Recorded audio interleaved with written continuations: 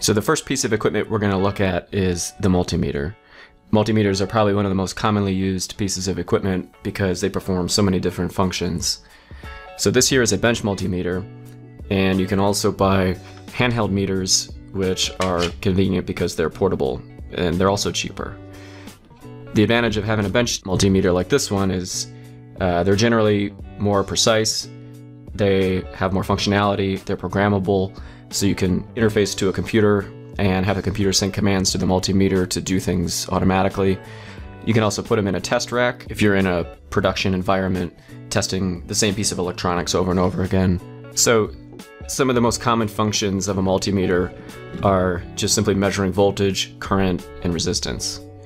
Um, measuring voltage is a parallel measurement, so you'll take probes and put them in parallel with a voltage source like this one here. So if I turn this on, set it to 2.5 volts, and put my probes in parallel, I get 2.5 volts. Current measurements are done similarly, except when you're measuring current, you want to put the multimeter in series with whatever current you're trying to measure. Most multimeters will have a different banana plug for measuring current as opposed to taking voltage measurements. So that's why you see so many different terminals on pretty much every multimeter. When measuring resistance, there's two types of resistance measurements you can make. One is known as a two-wire measurement, and another is known as a four-wire measurement. So a two-wire measurement is just like it sounds. You only need two leads to make a two-wire measurement. So here's a 100 ohm resistor, and we get 100 ohms.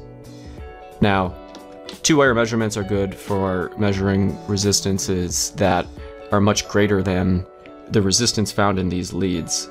So these test leads are made of copper wire, and there's some inherent resistance to the copper that's in these leads. So as long as what you're measuring is a lot more than whatever the resistance of these leads are, then you can get a accurate measurement. But if you're trying to measure resistances of, say, less than an ohm, uh, you're just not going to be able to do that because this is going to introduce a large amount of error. So to demonstrate that, this is a 500 micro ohm shunt. And if I were to try to measure that with a two wire resistance measurement, you're going to see it's reading about 2.5 ohms, which that's not correct. So if I want to measure the resistance of this shunt, I have to do what's called a four wire measurement. So a four wire measurement is just like it sounds. You have to use four wires. And the reason for using four wires is that you're going to use two wires to sense the voltage across the resistance. And then you're going to use a separate two wires to source current through that resistance. So by separating the path of current from your sense leads, you don't run into the issue where you're measuring a voltage drop across the leads themselves. So if I put this meter in four wire mode, we can try to accurately measure this shunt. Now, I'm not sure if you can see this, but in the statistics menu, I'm taking an average of all these readings, and you can see it's about 480 microohms, or about half a milliohm. Another useful feature is what's called diode mode, which allows you to measure the forward voltage of a diode. So this is useful if you're trying to match diodes, or um, with LEDs, sometimes it's not always obvious which lead is the anode and cathode. So with through holes, uh, the anode is usually longer than the cathode, but with surface mount LEDs, you don't always know from the polarity markings which is which. So in that case, you can take your leads and place them across the diode. So your red lead or your positive lead, when it's placed on the anode, the LED will light up.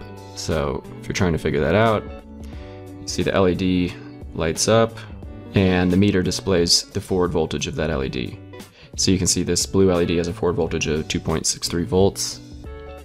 Now, one thing I've noticed with handheld meters is not every handheld meter can source enough current uh, to actually measure the forward voltage of certain diodes and particularly LEDs.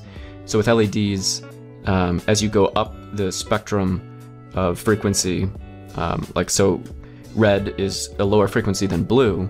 Since blue light is higher energy, there's going to be a higher forward voltage, and not every meter can source enough current to hit that forward voltage. So in the case of the flukes, every fluke I've used has been able to source enough current uh, to measure the forward voltage of a blue LED. Now, some of the cheaper meters, such as these guys, I think this meter was about $80 and this meter was about $10. They will not source enough current to measure the forward voltage of um, even like a green LED. Okay, so lastly, I'm going to do a quick accuracy comparison between these four meters. The Keithley multimeter is the most accurate meter here, so use that as the ground truth reference. For voltage, all the meters are connected in parallel to a 5 volt precision voltage reference. Now on to current. These measurements were all taken separately so that the meters wouldn't load each other.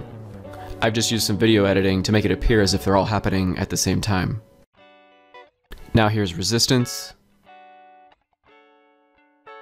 And lastly, capacitance.